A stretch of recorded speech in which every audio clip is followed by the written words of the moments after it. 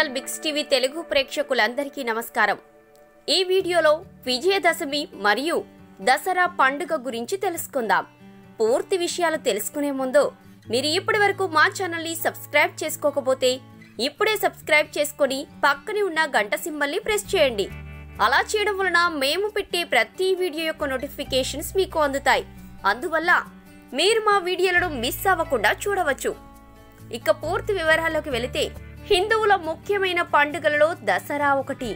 అశ్వయుజ శుద్ధ పాడ్యం నుండి అశ్వయుజ శుద్ధ నవమి వరకు తొమ్మిది రోజులు దేవీ నవరాత్రులు అంటారు. పదవ రోజును దసరా అంటారు.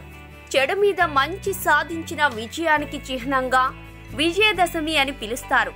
చరిత్ర ప్రకారం విజయదశమి రోజున రాముడు రావణునిపై గెలిచిన సందర్భమే కాక పాండవులు వనవాసం పూర్తి చేసుకొని జమ్మి చెట్టుపై దాచిన తమ ఆయుధాలను తిరిగి తీసుకున్న రోజు కూడా ఇదే.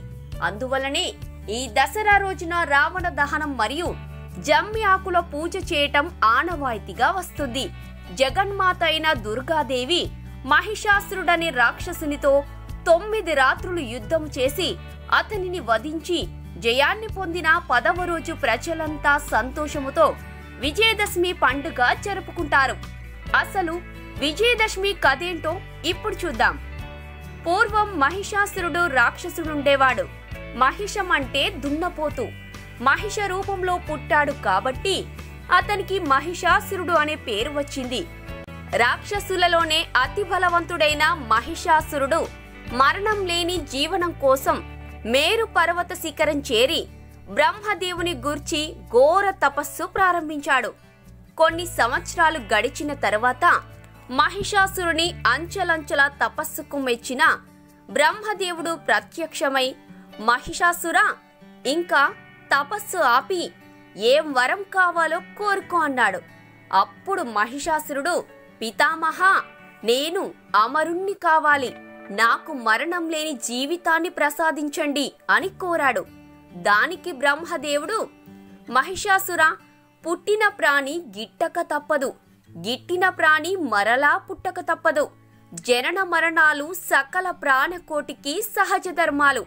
మహాసముద్రాలకు మహాపర్వతాలకు కూడా ఏదో ఒక సమయంలో వినాశం తప్పదు. కాబట్టి ప్రకృతి విరుద్ధమైన నీ కోరిక తీర్చుట అసంభవం కనుక అది కాకుండా మరే వరమైన కోరుకో అన్నాడు. అప్పుడు మహిషాసురుడు విధాత సరే ఆడది నా దృష్టిలో అబల. ఆమె వల్ల నాకే ప్రమాదము రాదు. కనుక ఈ ప్రపంచంలో ఉన్న ఏ పురుషుడి చేతిలో నాకు మరణం రాకుండా వరం అనుగ్రహించండి అని కోరుతాడు. అప్పుడు బ్రహ్మదేవుడు ఆ వరాన్ని మహిషాసురునికి అనుగ్రహించి అంతర్ధానమయ్యాడు. బ్రహ్మదేవుని వరాల వలన వరగర్వితుడైన మహిషాసురుడు దేవతలతో ఘోరమైన యుద్ధము చేసి వారిని ఓడించి ఇంద్ర పదవి చేపట్టాడు.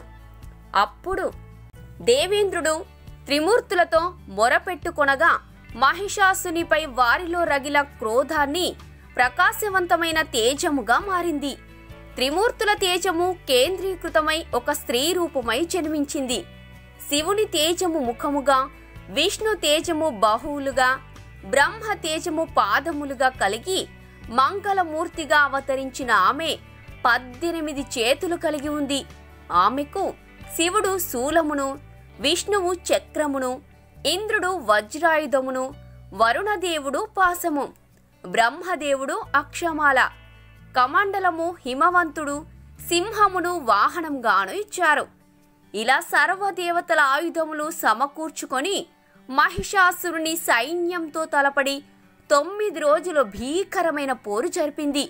మహిషాసురుని తరపున పోరులో పాల్గొన్న ఉదద్రుడు మహాహనుడు అసిలోముడు భాష్కలుడు బిడాలుడు మొదలైన వారిని సంహరించిన తరువాత మహిషాసురునితో దేవి తలపడింది.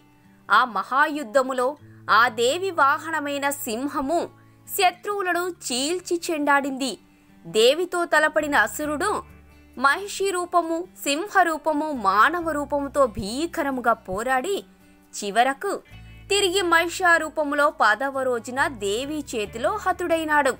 ఈ విధంగా అప్పటి నుండి మహిషుని సంహరించిన రోజును విజయదశమిగా జరుపుకోవడం జరుగుతుంది. ఈ వీడియో మీకు నచ్చినట్లయితే లైక్ చేయండి షేర్ చేయండి అలాగే ఈ వీడియోపై మీ అభిప్రాయాలను కామెంట్ రూపంలో తెలియజేయండి అలాగే మరిన్ని వీడియోల కోసం మా ఛానల్ని సబ్స్క్రైబ్ చేసుకోవడం మాత్రం మర్చిపోకండి. Thank you.